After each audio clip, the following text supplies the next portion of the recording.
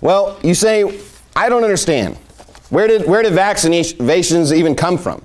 I mean, should we, you know, what do we think about them? Well, I'll give you the history of vaccinations. It says inoculation was adopted both in England and America nearly half a century before Jenner's famous smallpox vaccination in 1796. Now, if you go online and you do research, which I highly recommend, I highly recommend that you do as much research as possible because I'm not afraid of the truth about vaccination. If you research it, if you study it yourself, you'll find all the things that I'm saying are the exact same information. And if you don't research it, you're basically saying, I don't care about my children.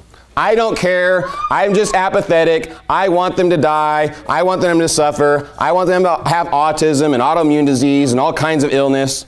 That's what you're saying. But if you go back Basically, they're, they're just trying to like pick out stuff that sounds kind of like a vaccination. Really, it came into existence in the 1796. So it's kind of where we really see vaccination coming into play. So that's where I'm going to focus. It says there was a smallpox, smallpox vaccination in, 19, in 1796. Now, in this vaccine, they had a death rate of about 2%.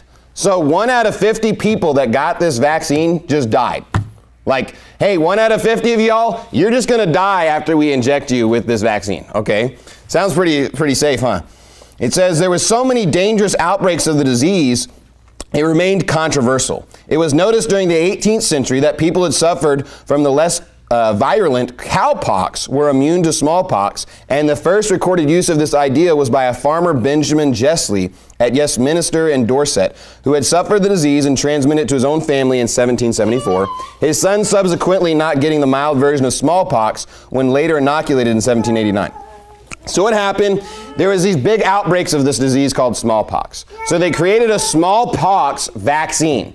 But, you know, 2% of people are just straight out dying from this vaccine. So then somebody has a different uh, vaccine called cowpox, which is basically they get the disease from the cow and they inject it in the people.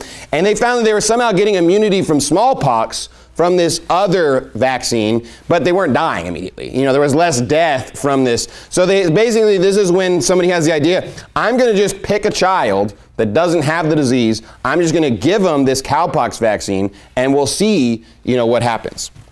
Well, it says it was Edward Jenner, a doctor in Berkeley and Gloucestershire, who established the procedure by introducing material from a cowpox vestal on Sarah Nelmes, a milkmaid, into the arm of a boy named James Phillips. Two months later, he inoculated the boy with smallpox, and the disease did not develop. So basically, they gave this kid smallpox after giving him the vaccine to see, and he didn't get sick. So they're like, oh wow, I guess the, you know, the vaccine really worked. On a seven-year-old, what in the world? What kind of people are you know, experimenting on random seven-year-old children to try and see, hey, is this vaccine gonna work? Sounds like a really you know, great way to start off. Basically, they were shooting him in the arm. After they felt like they had, you know, developed this, it says by 1801, his report was translated into six languages and over 100,000 people were vaccinated even though there's many people that are against it because they're injecting you with animal products or animal diseases and all kinds of stuff. It says, since then, vaccination campaigns have spread throughout the globe, sometimes prescribed by law or regulations. Vaccines are now used against a wide variety of diseases. Louis Pasteur further developed the technique during the 19th century, extending its use to killed agents protecting against anthrax and rabies. The method Pasteur used entailed treating the agents for those diseases so they lost the ability to infect, whereas inoculation was the hopeful selection of the less virulent form of the disease. Let me just explain what they're doing.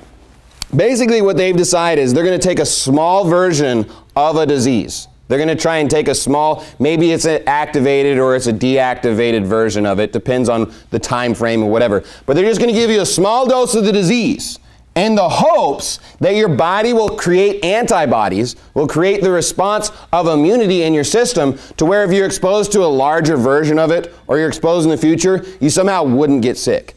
So they're basically saying instead of, you know, you getting sick in the future, we'll just try to get you a little sick now so you won't get really sick in the future. That's basically the, the how vaccines work, okay? And even in the modern today, they'll say, well, we'll give you an unactivated version of the disease and it triggers in the body what's called a T2 cell response. So you have different parts of your body a T1 response in your, in your cells is basically when you get the sickness and your body starts producing antibodies to fight that illness. Your body can, can produce you know, a certain response to a disease to fight it and to kill it. And once that's in your body, now you can become what's called immune. Meaning, if you're exposed to that particular illness or, uh, or whatever in the future, your body already knows how to fight it. You're not going to contract it again.